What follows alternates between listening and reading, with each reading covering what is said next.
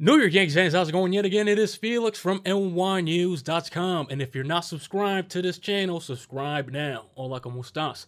Yet again, let's talk about our boy, Clint Frazier, who, if you follow this channel, I have said repeatedly that he reminds me of a younger Bryce Harper.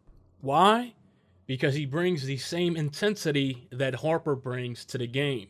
In short, Clint looks like a player that he'll slap you across the head if you cross him the wrong way.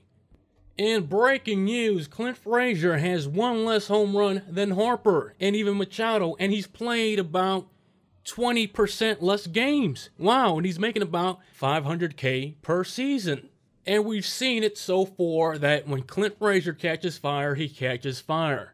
And let's not forget, Clint has a lot of swagger. He's changing the game with his ideas, his creativity, etc. A recipe that Clint Frazier is going to be a highly marketable player in the near future. So if companies ain't bringing him up, they're missing the boat. He's going to make you a lot of money.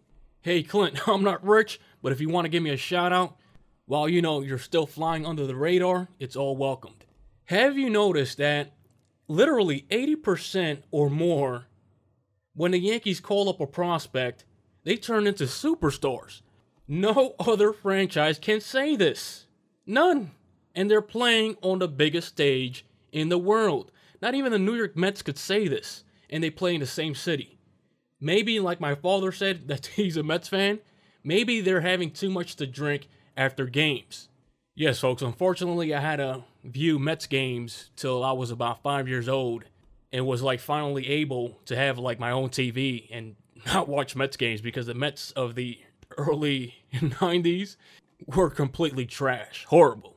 So to move on from traumatizing events, watching the Mets lose about 100 games per season, no Major League Baseball team can say that they have a high success rate when it comes to calling up prospects and those prospects turning into great players.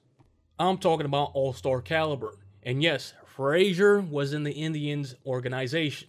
Torres was in the Cubs organization but it takes a great front office and analytical staff.